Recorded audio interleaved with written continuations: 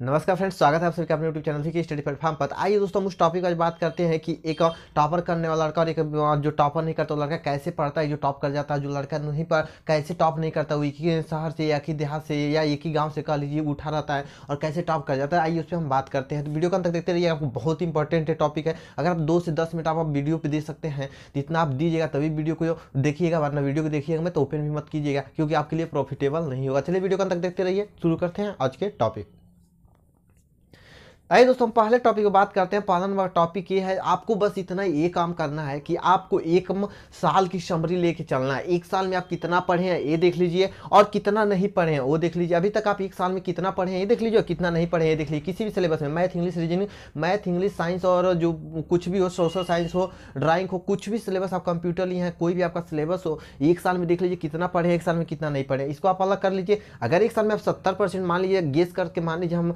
Suppose date अब एक साल में सत्तर परसेंट पढ़े और एक साल में तीस परसेंट नहीं पढ़े आप सत्तर परसेंट के बाद पीछे भागिए, तीस परसेंट के पीछे नहीं। सत्तर परसेंट जितना पढ़े उसको आप क्लियर कीजिए, उसको डाउट जितना है उसमें क्लियर कीजिए, उसको जहाँ से टॉपिक मिले, उस सत्तर में ढूंढ के उससे एक से एक क्वेश्चन कीजिए और अंसार ले लीजिए। अंसार आपके लिए बहुत प्रॉफिटेबल होगा अंसार से उस सत्तर में जो पढ़े उसको सॉल्व कीजिए। अंसार से अगर सत्तर आपका क्लियर हो जाता है तो अगर पेपर के दस पंद्रह दिन पहले आपको टाइम मिलता है तो जो तीस परसेंट नहीं पढ़े, उसको आप क्या कीजिए? बुक से रीडिंग कर लीजिए। एक बार बुक देख के अच्छे से दिमाग से उसको रीड कर लीजिए। अच्छे से जब एक बार, दो बार बुक से रीड कर लेंगे पेपर के दस पंद्रह दिन पहले। पेपर के दस पंद्रह दिन पहले ये काम करना है। जो नहीं पढ़े उसको एक बार रीड कर लीजिए। पेपर के दस दिन पहले काम करना है और आज से पेपर के दस दिन पहले तक क्या काम करना है? जो सत्तर परसेंट पढ़े उसको ज़्यादा से ज़्यादा उस पर क्वेश्चन करना है वर्क करना है। इतना क्लियर हुआ? अब आते हैं दोस्तों इसमें।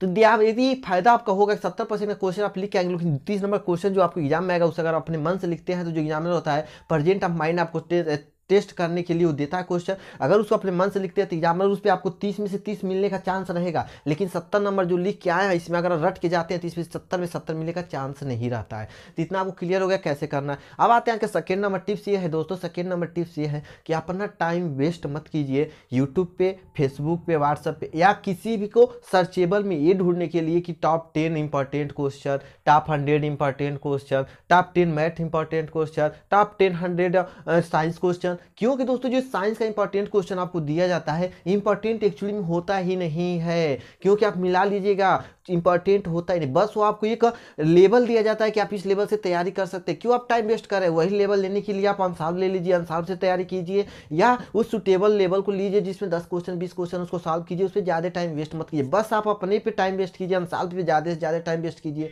अभी तक जो बुक पढ़े हैं साइंस में मैथ में, उस पर ज़्यादा से ज़्यादा क्वेश्चन करने का वर्क कीजिए। ये हो गया आपका सेकेंड आज के थर्ड वाला बहुत इंपॉर्टेंट है, बहुत इंपॉर्टेंट ये है कि देखिए बहुत बच्चे होते हैं कि मेरी तैयारी नहीं है, मैं पेपर में कर नहीं पाऊँगा होपलेस हो जाते हैं। लेकिन आत्मविश्वास सबसे ज़रूरी है। अगर आत्मविश्वास आप पे है कि मैं कर लूँगा तो यकीन मानिए कि आप हंड्रेड परसेंट में से नाइन्टी नाइन परसेंट आप लेके आ जाएँगे।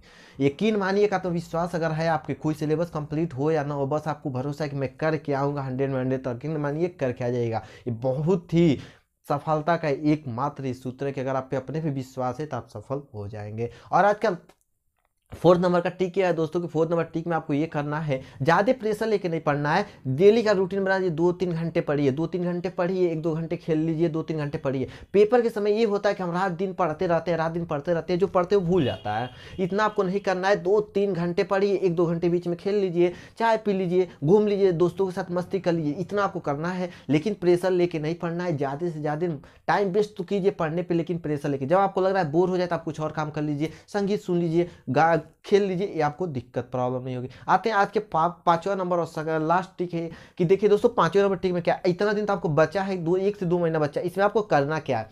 इसमें एक करना है कि आप जिस कोचिंग में पढ़ रहे हैं क्लास में पढ़े उस क्लास को छोड़ दीजिए। कोचिंग क्लास छोड़ के घर पे आइए उसको क्या कीजिए सेल्फ स्टडी पे एक महीना दीजिए। सेल्फ स्टडी पे बस एक महीना देंगे यकीन मानिए आपको सफलता हंड्रेड मिलेगी। तब के लिए जय हिंद दोस्तों। आई होप दोस्तों आपको पसंद आया होगा ठीक अगर पसंद आया होगा तो चैनल को लाइक कर दीजिएगा चैनल सब्सक्राइब करके बेलाइकन प्रेस कर दिया क्योंकि आपको ऐसी इन्फॉर्मेशन मिलता रहता है इस चैनल पे, मज़ेदार टिक के साथ सब कुछ मिलता रहता है, इस पर अवेलेबल है। आप जिसकी तैयारी कर सकते हैं, इस पर तैयारी भी कर सकते हैं। तो चलिए दोस्तों, तब के लिए जय हिंद, मिलते हैं नेक्स्ट वीडियो में।